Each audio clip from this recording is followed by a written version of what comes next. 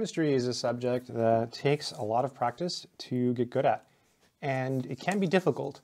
In this video, I want to show you perhaps what is considered the easiest book that you can get to learn chemistry. So this is not a textbook. It's kind of like a workbook. It's not really a hardcover or a soft cover. It's like something in between. It's called Everything You Need to Ace Chemistry in One Big Fat Notebook. This is the complete high school study guide. And it's a great book. It's going to give it a whiff. There's other books in this series that are also for beginners. So in this video, we're going to take a look at this book. And I will try to remember to leave a link in the description in case you want to check it out. So it's quite an affordable book and way easier than a textbook. The Complete High School Study Guide, Everything You Need to Ace Chemistry in one big fat notebook by Workman Publishing, and the copyright is 2020.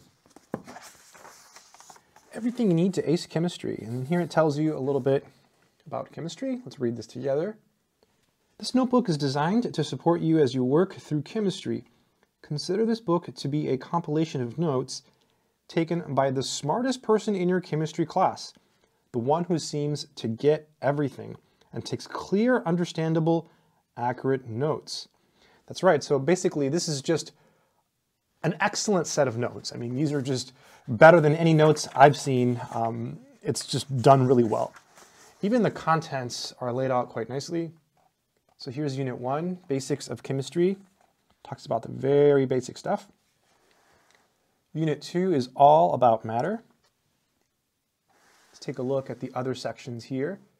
Atomic theory and electron configuration, that's Unit 3. Unit 4 is elements and the periodic table. Unit 5 is bonding and VSEPR theory. Then we have some other units here, chemical compounds, chemical reactions and calculations, gases, solutions and solubility, quite a lot of stuff, acids and bases, chemical compounds, and thermodynamics. Now, I should mention that one of the criticisms of this book that I've heard from other people who uh, are chemistry pros is that this book um, does not contain enough information.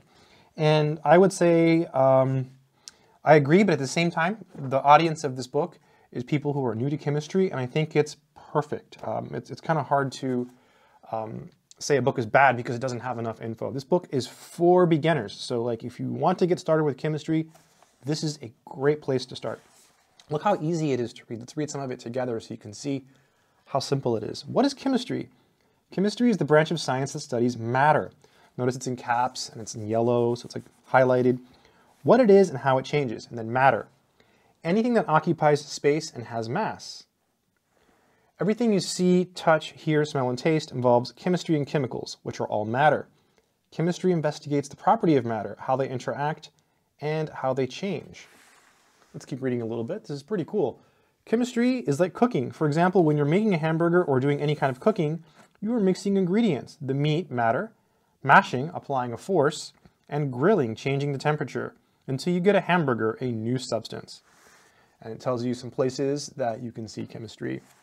Let's go to the end of the chapter so you can see how it works. So you can see here you have more great reading and highlighted sections. Everything's just really nicely compartmentalized. Notice it's not filled with text like a textbook. There's a lot less um, you know, knowledge, I guess, in this book, again, than in a regular textbook. Here's the really cool part. So when you get here to check your knowledge, it says, what is chemistry? By the way, you can write in this if you want to, or if you don't want to write it in, you can write on a piece of paper on the side. How do organic compounds differ from inorganic compounds? And it keeps asking you questions here. And then look at this, answers. So all you have to do is turn the page and boom, there it is. Check your answers. So here you have all the answers to those questions. Notice that was a pretty short chapter. So now we're in chapter two. So quite short. And by the way, I should just go back to the contents to show you something. So each unit is broken up into chapters, you see. So it's like subsections, but they call them chapters. So overall, I think this is an excellent book. I just got to give it another whiff here because it's just drawing me to it. Ah, incredible. Uh, you notice my copy is a little bit creased because it does crease. You know, um, I have used it. I've read small portions of it.